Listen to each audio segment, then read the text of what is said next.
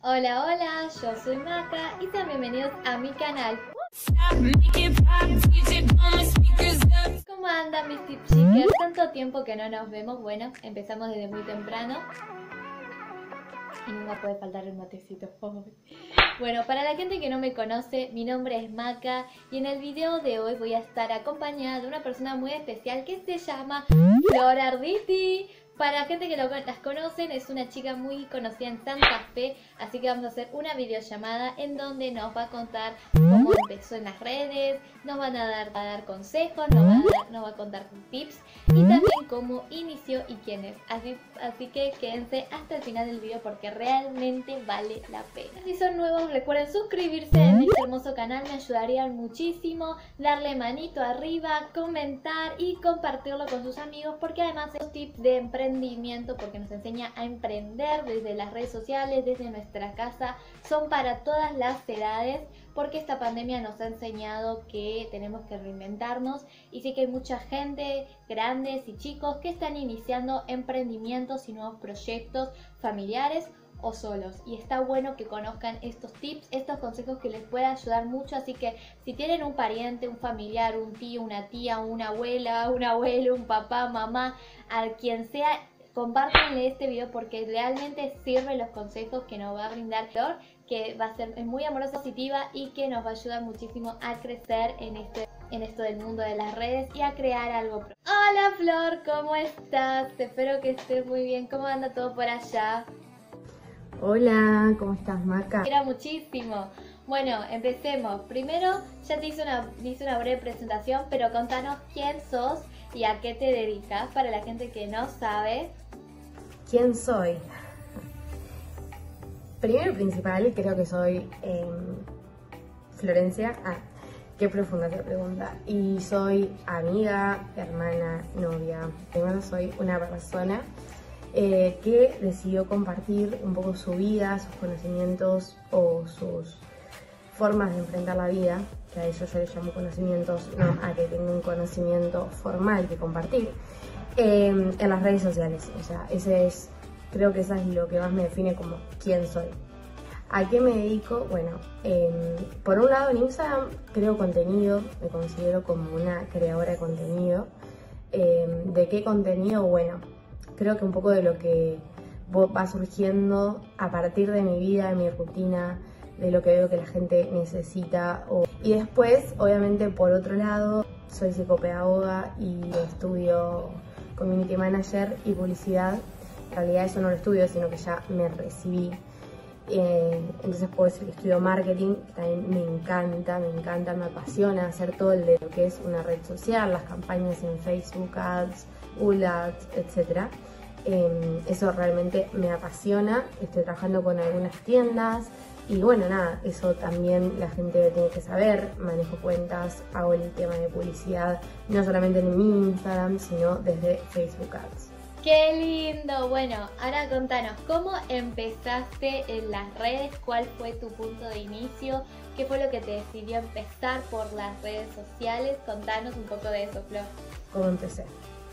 En realidad, en plena pandemia, cuenta del contenido que yo consumía, que no me hacía bien y que siempre me llegaba a estereotipos, o sea, me recomendaban cosas para estar más flaca. Siempre todo asociado a un parámetro de normalidad que tiene la sociedad hoy en día. Me di cuenta que muchas personas de mi entorno consumíamos esos estándares de belleza y eh, además ese, esas publicidades, esos discursos lo que me llevó a pensar en mi infancia y adolescencia y el bullying que había sufrido por no cumplir los estándares de belleza, hablar de este, de lo que yo viví y que eso deje de ser un sentimiento, un sentimiento negativo en mi vida y poder empezar a transmitirlo y que juntos empecemos a transformar esta realidad y esta sociedad. ¿Qué consejo le darías a las personas que están recién iniciando están encarando un nuevo emprendimiento, un nuevo proyecto o las personas que están creando contenido,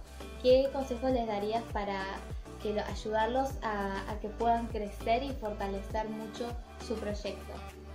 Consejo que le daría a una persona que está arrancando, sea creadora de contenido o sea emprendimiento, hay que tener ganas y hay que ser constante, que lleva muchas frustraciones, pero también muchas alegrías y es parte de mi vida. En momentos donde me siento fracasada o que fracasé o que fracasó algo mío. Algo más eh, de, de tu vida, o sea, no va a ser ajeno a vos. Sos vos haciendo contenido, sos vos atrás de un emprendimiento. Pero creo que hay una diferencia. En un creador de contenido creo que es una persona que se anima a hablar de su experiencia. O sea, no hay una diferencia entre mi amiga que no sube contenido a mí. La única diferencia es que yo prendí la cámara y me animé a hablar y esa es la única diferencia. O sea, es mostrar tu realidad, tus valores, tus creencias, tu cultura, lo que quieras hacer, pero siempre partiendo de vos, creando contenido. Y si sos un emprendimiento también, que puedas naturalizar y humanizar la marca a vos lo más posible. O sea, si yo soy la dueña de esta tienda de ropa, bueno, estos son los valores que se manejan en mi tienda, esta soy yo detrás de mi tienda, esta soy yo posteando videos de la ropa o reels de la ropa. Humanizar la marca creo que es lo que lleva al éxito de una marca. Esta es una pregunta que muchos se hacen y que algunos responden, pero me gustaría saber si es fácil vivir de las redes sociales. ¿Es fácil vivir de las redes? Bueno, no, o sea, evidentemente no es fácil vivir de las redes. Yo a día de hoy no vivo de las redes, es decir, no como con las redes. Muchas veces he escuchado a influencers o famosos decir que de canje no se come, no se vive, no se paga la luz. Y es cierto, yo estoy súper agradecida de cada cosa que me mandan, pero es una realidad que no, porque todos tenemos impuestos que pagar, eh, un alquiler quizás que pagar o muchas cosas que pagar y no se pagan con productos. Em, se paga con dinero. Yo hoy en día, eh, si bien cobro, no es tan fácil todavía por la cantidad de seguidores que tengo y por el engagement que tengo. Por lo tanto, fácil no es. Es ser constante, como todo en la vida, como decir, eh, no sé, te vas a volver rica siendo abogada. Sí, quizás pero te va a llevar mucho tiempo, tienes que encontrar el cliente, el público, esto, esto, lo otro. Y lo mismo pasa en las redes sociales, o sea, la gente te elige, pero después te tiene que elegir la marca que te quiera pagar y bueno, es como un montón de cosas que te tienen que dar. Eh, por lo cual pienso que no es fácil, pero que se puede, al menos eso es mi, lema, por eso sigo acá. Eh, se puede, en algún momento se va a poder, pero bueno, es paso a paso y como todo, y mi consejo de siempre, siempre es que todo lo estudien, todo lo que vayan a hacer lo estudien. Yo si bien el marketing digital me abrió las puertas a poder trabajar con otras marcas, lo principal es que me abrió la puerta a poder trabajar en mi marca personal, en mi emprendimiento que es ser creadora de contenido, en mi Instagram y entender el mundo digital, porque yo no me puedo meter, al menos de mi concepto, yo no me puedo meter en un mundo digital sin entender el mundo digital. Eh, no puedo salir a la vida o no puedo ser psicopedagoga sin, saber de psicopedagogía. Para mí lo fundamental es estudiar, siempre, siempre, siempre. Por último, esto es cómo empezar a crear contenido. Sé que es una pregunta capaz más sencilla, pero es un poco muy personal de responder.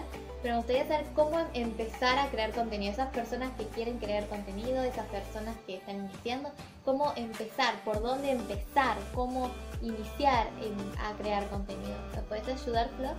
Para personas que quieran empezar a crear contenidos, creo que lo dije en la, en pregunta anterior un poco, es empezar a estudiar. O sea, hoy en día, gracias a Dios, hay un montón de cursos previos a arrancar a empezar, a, previos a empezar a crear contenidos. Eh, es sentarte y pensar quién sos, o sea, creo que lleva un camino de autoconocimiento muy grande porque es preguntarte quién soy, qué soy, qué quiero, qué quiero comunicar, qué quiero transmitir, siempre desde mí, pero bueno, ¿de qué voy a hablar?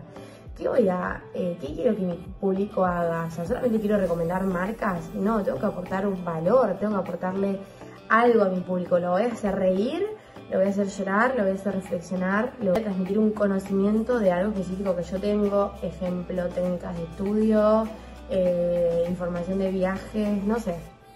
Hay muchas maneras y muchos temas para crear contenido.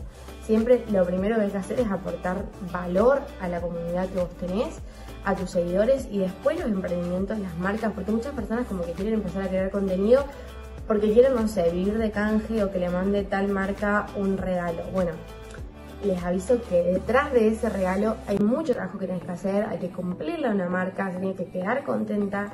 Entonces, no es, lo que quiero decir es que no es así y todo color de rosas. Es la vida. A la vida hay que prepararse, hay que formarse y hay que después enfrentarlo. Entonces, ese enfrentarlo puede venir con mucha felicidad, de vez en cuando un tropezón, levantarse y seguir, porque ahí está, ¿no? Yo creo que somos muchas las personas que día a día decimos, quiero dejar de hacerlo porque esto me frustró demasiado y no quiero seguir. Pero eh, damos y seguimos porque, no sé, pensamos en la gente que nos sigue, pensamos en que los mensajes lindos que recibimos, pensamos en el acompañamiento y un montón de cosas.